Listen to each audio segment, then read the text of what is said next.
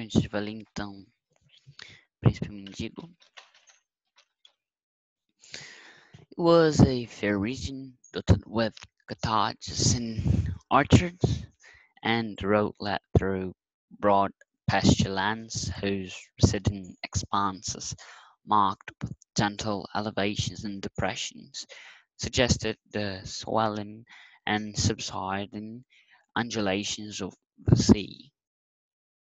The afternoon the returning prodigal made constant deflections from his course to see if by ascending some hillock he might not pierce the distance and catch a glimpse of his home. At last he was successful and cried out excitedly.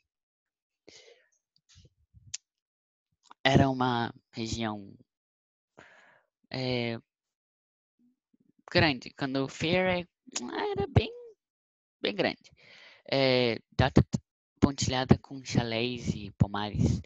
E a estrada levava a umas terras de pasto, umas, uns pastos amplos, os quais as extensões marcadas com elevações e depressões é, sugeriam o avanço e retrocedimento das ondulações do mar.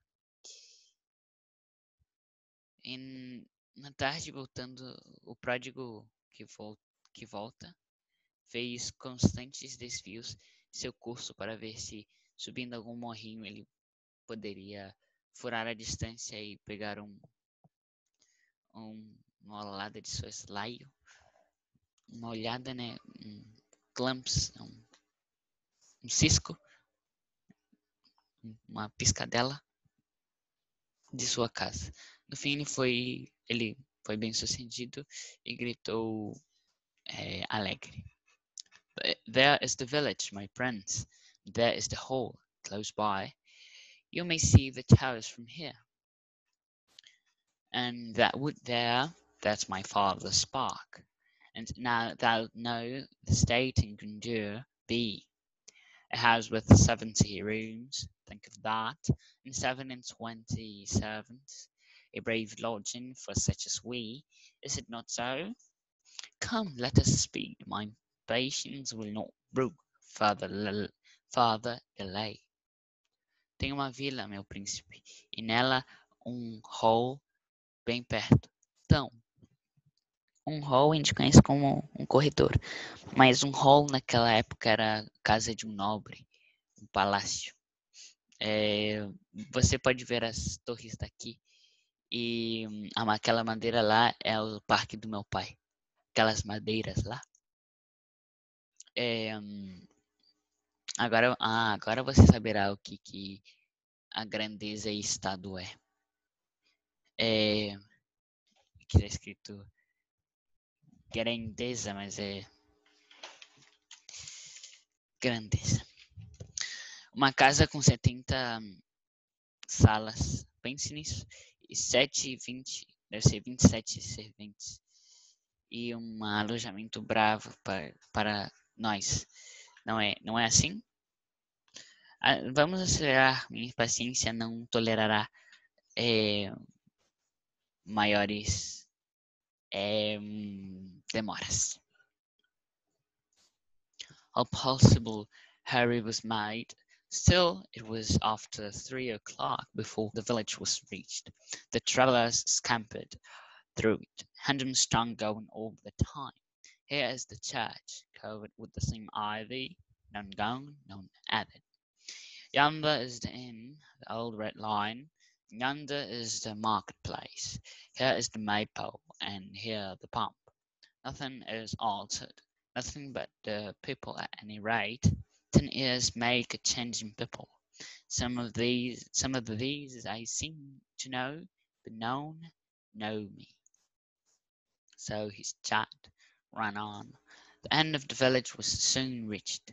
Then he and the travellers struck into a crooked, narrow road, walled in with their tall hedges and hurried briskly along it for half a mile, then passed into a vast flower garden through an imposing gateway whose huge stone pillars bore sculptured armorial device, a noble mansion was before them. Toda a pressa possível foi feita. Ainda assim, depois das três da tarde, é que a vila foi alcançada. Os viajantes corriam através dela. A língua de Random estava falando toda hora. É, aqui é a, é a um, igreja coberta com a mesma videira. Nada tirado, nada adicionado. Mas lá está uma, um pousadeiro, o velho leão vermelho. E é, mais para lá está o a praça o lugar do mercado. Aqui é Maple e lá uma bomba, pump, é, bomba. É, nothing is altered. Nada foi alterado. Nothing but nada, somente as pessoas em qualquer sentido. Right não, qualquer é,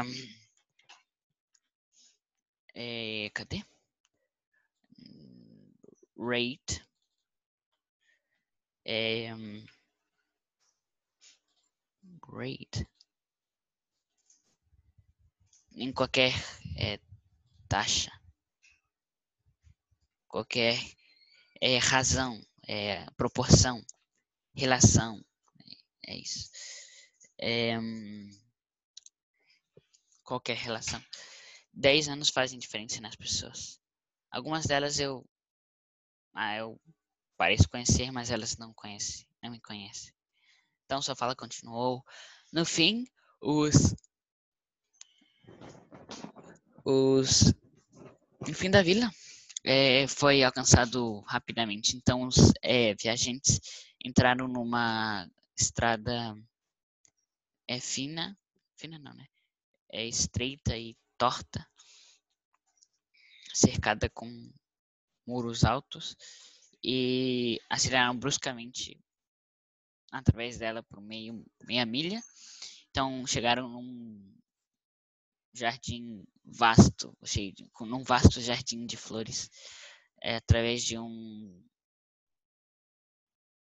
de um imponente, né, imposing, é um, algo isso, imponente.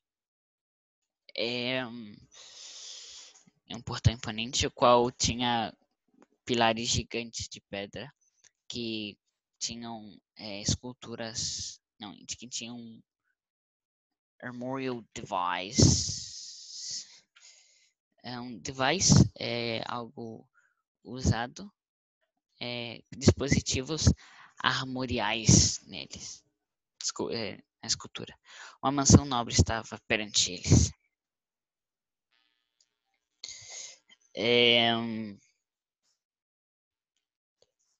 Welcome to Hendon Hall, my king, exclaimed Miles. Oh, this is a great day. My father and my brother and Lady Edith will be so met with joy that they will have eyes and tongues for none for none but me in the first transport of meeting, and so thou sing but coldly welcome. But mind it not, twill soon seem otherwise. For when I say thou my ward, and tell them how costly is my love for thee, thou'lt see them take me to the breast for mile Handham's sake, make their house and heads thy home for ever after. Bem-vindo a Random Hall, meu rei! É, exclamou Miles. Ah, um grande dia. Meu pai e meu irmão e a senhorita Edith estarão tão loucos de alegria que eles terão, não terão olhos e línguas para nada mais que meu em primeiro transporte da reunião. Então, mas você será é, bem-vindo bem friamente. Mas não se preocupe, é, isso vai mudar.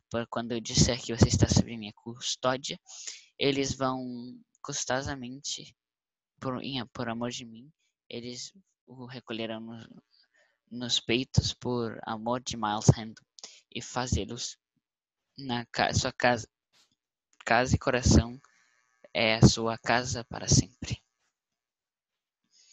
Next moment, uh, Random sprang to the ground before the great door, helped the king down, then took him by the hand and rushed within. A few steps brought him to a spacious apartment. He entered, sent, sent, seated the king with more hurry than ceremony, and ran toward a young man who sat at a writing table in front of a generous fire of logs. Um,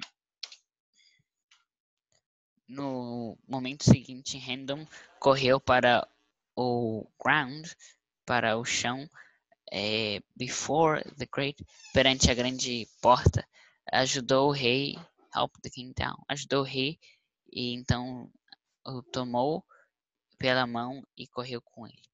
Poucos passos de, o trouxeram para um apartamento espacioso.